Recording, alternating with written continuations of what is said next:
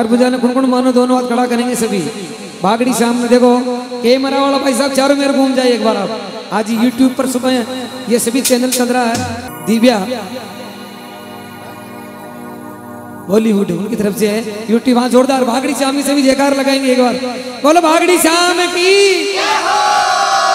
बोलो, चार बुजानाथ की।